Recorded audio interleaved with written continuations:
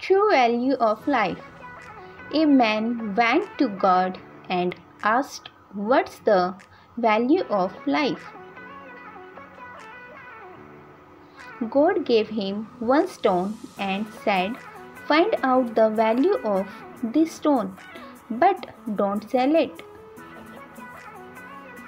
The man took the stone to an orange seller and asked him what its cost would be. The orange seller saw the shiny stone and said, You can take 12 oranges and give me the stone.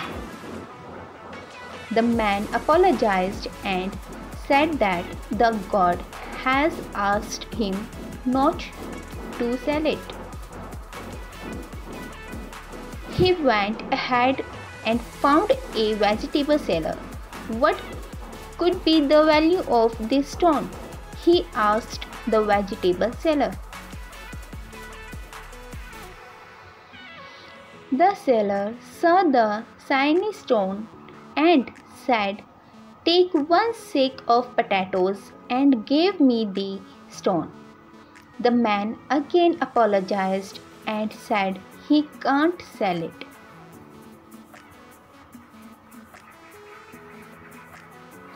Further ahead, he went into a jewelry shop and asked the value of the stone.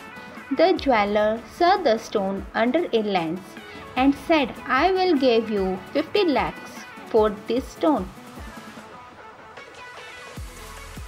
When the man shook his head, the jeweler said, All right, all right, take two crores, but give me the stone. The man explained that he can't sell the stone. Further ahead, the man saw a precious stone shop and asked the seller the value of this stone.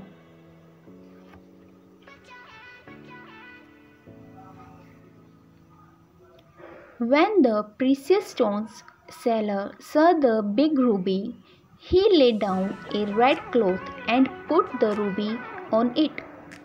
Then he walked a circles around the ruby and bent down and touched his head in front of the ruby. From where did you bring this priceless ruby from? He asked.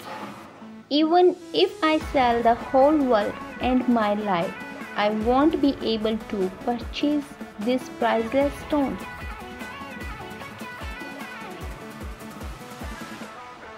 Stunned and confused, the man returned to the god and told him what had happened.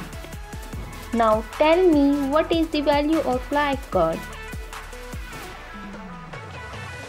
God said the answers you got from the orange seller the vegetable seller, the jeweler, and the precious stone seller explained the value of our life.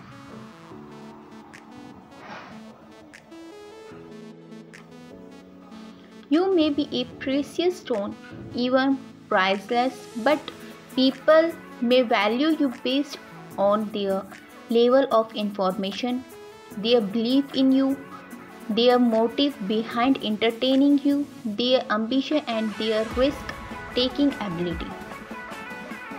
But don't fear, you will surely find someone who will discern your true value. In the eyes of God, you are very, very precious. Respect yourself you are unique. No one can replace you.